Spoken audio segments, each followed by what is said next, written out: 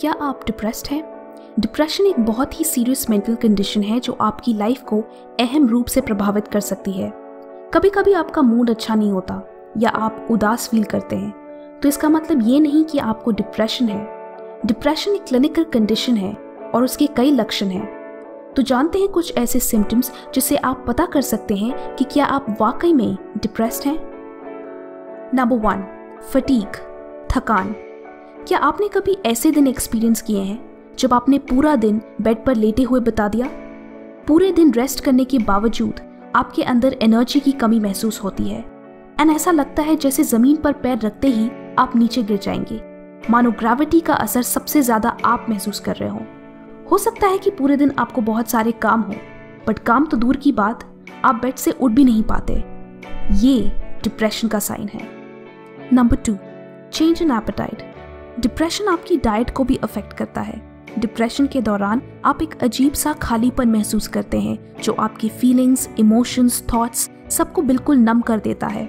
इस खालीपन को मिटाने के लिए आप अपना मन खाने में लगाते हो।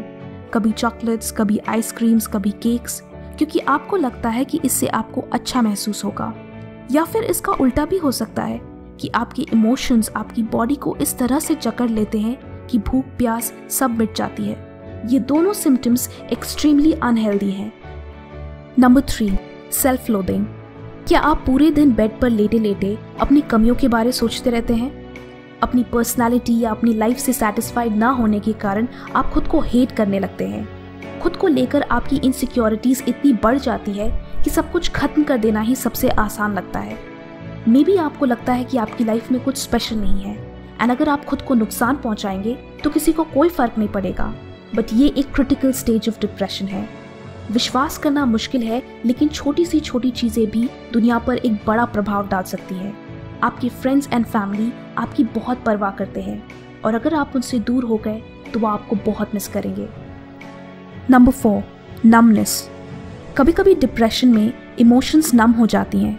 कुछ लोग हंसना, मुस्कुराना, खुश होना सब भूल जाते हैं। पहले जिन चीज़ों से खुशी मिलती थी, अब वो फीकी लगने लगती हैं। किसी भी चीज़ में मन नहीं लगता। कोई भी चीज़ या एक्टिविटी हमें इंटरेस्टिंग नहीं लगती।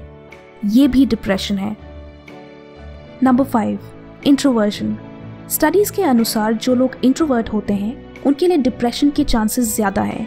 इंट्रोवर्ट का मतलब है वो लोग जो कम बोलते हैं, दूसरों के सामने खुलकर बात नहीं करते एंड अकेले रहना पसंद करते हैं।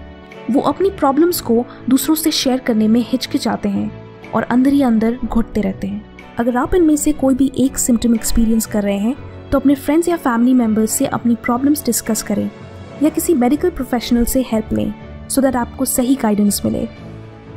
प्लीज़ कमेंट क्या आप हाउ टू फाइट डिप्रेशन पर वीडियो देखना चाहेंगे। ऐसे ही और वीडियोस के लिए please to subscribe to Funda Tube and you can also follow us on our social handles thank you for watching and take care